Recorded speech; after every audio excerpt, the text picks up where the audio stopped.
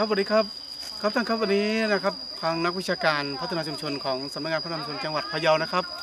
ก็มาสี่ท่านนะครับทีมงานนี้นะฮะเพื่อที่จะเอ่อมาตรวจเอ่อเกี่ยวกับการดำเนินงานนะครับตามคำรับรองการปฏิบัติราชการหรือว่า IPA นะครับ วันนี้ทีมงานของพวกผมนะครับมาที่อำเภออำเภอจุนนะครับจังหวัดพะเยานะฮะในช่วงภาคเช้านะครับ เราก็ได้ประชุมชี้แจงให้กับเจ้าหน้าที่อ่า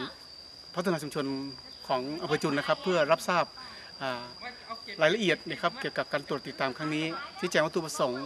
รวมทั้งการให้คำแนะนำนะครับในการรวบรวมผลการดำเนินงานเอกสารหลักฐานต่างๆนะครับ ก็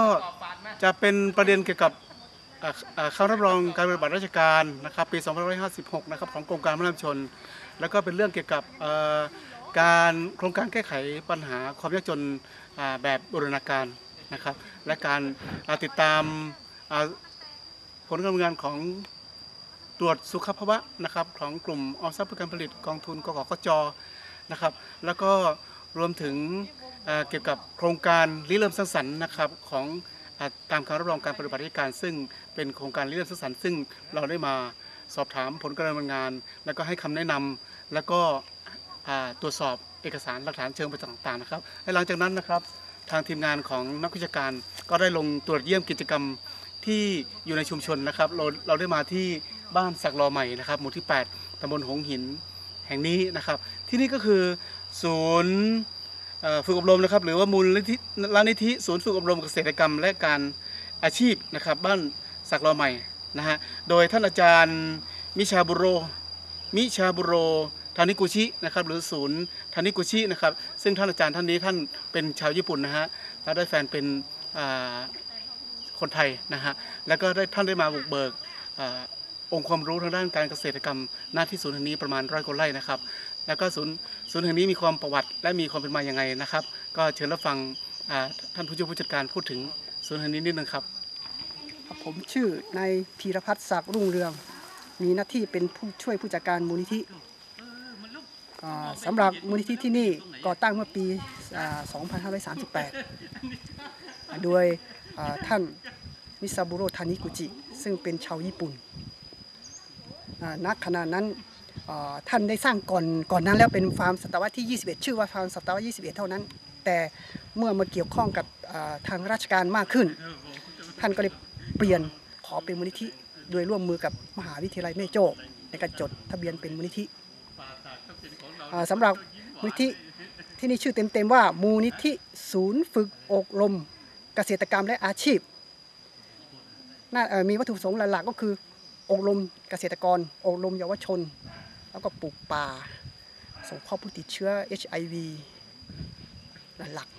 ๆงานเท่านี้ ก็ตั้งแต่นั้นทันมาจนถึงเดี๋ยวนี้ก็เฉพาะที่นี่ก็ 20 กว่าปี ท่านมิซาบุโรทานิกุจิได้เสียชีวิตเมื่อ ปลายปี 2554 ถึงแม้ท่านจะเสียชีวิตไปแล้ว แต่มูลที่แห่งนี้ก็ยังดำเนินการต่อโดยการฝึกอบรมเกษตรกรและเยาวชนอย่างต่อเนื่องอทั้งทั้งสถาบันการศึกษา ทั้ง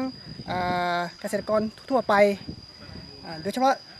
สถาบันการศึกษาที่เป็นนักศึกษาวิทยาลัยเกษตร จะต้องมาพักที่นี่ ฝึกจริงทำจริง ตั้งแต่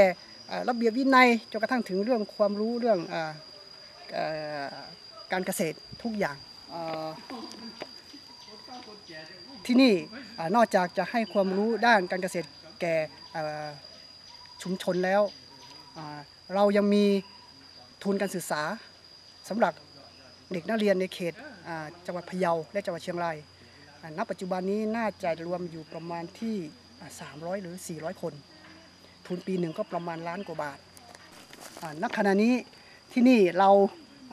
ปลูกผักเกิดทุกชนิด แต่ที่เห็นอยู่นี้ก็คือปลูกแตงกวาปลูกบัวเหลียม ปลูกมะเขือเปราะปลูกพริก และหลังจากนี้ไปเราก็จะปลูกผักกาดผักกาดขาวผักกาดขาวปลีนะครับแล้วก็กะลำเราจะปลูกหมุนเวียนตลอดฮะไม่ให้ขาดเลยที่นี่ยินดีต้อนรับทุกๆทท่านนะครับ ถ้าหากท่าน อยากจะมาเยี่ยมชมเฉยๆก็ถ้ามาเมื่อไหร่ก็ได้เลย พร้อมต้อนรับเสมอ แต่ถ้าท่านต้องการมาเรียนรู้ต้องการวิทยากรต้องการคนนำพาติดต่อล่วงหน้าครับที่ผมนี่ครับ ครับก็เป็นไงบ้างครับก็น่าสนใจทีเดียวนะครับ ถึงแม้ท่านอาจารย์มิชาบุโรนะครับทานิกุชิ ทานิกุจินะครับโทษครับท่านได้เสียชีวิตไปแล้วเมื่อปี 2554 นะฮะแต่ท่านก็ได้ทิ้งผลงาน และก็ทางท่านภรรยาของท่าน แล้วก็ผู้ดูแลแห่งนี้ก็ยังสืบทอดเจตนารมณ์ของศูนย์ฝึกอาชีพแห่งนี้นะครับนี้นะครับเพื่อเป็นประโยชน์ให้กับพี่น้องเกษตรกร และก็ชุมชน รวมทั้งนักเรียนนักศึกษาจากสถาบันการศึกษาต่างๆนะครับได้เข้ามาที่นี่มาฝึกน้ำล้น ฝึกฝนความรู้ทางด้านเกษตรกรรมที่นี่นะครับ ผมว่าศูนย์แห่งนี้จะยังยืนหยัดต่อไป เพื่อที่เป็นศูนย์แห่งการเรียนรู้ด้านการเกษตรกรรมครับ ขอบคุณครับ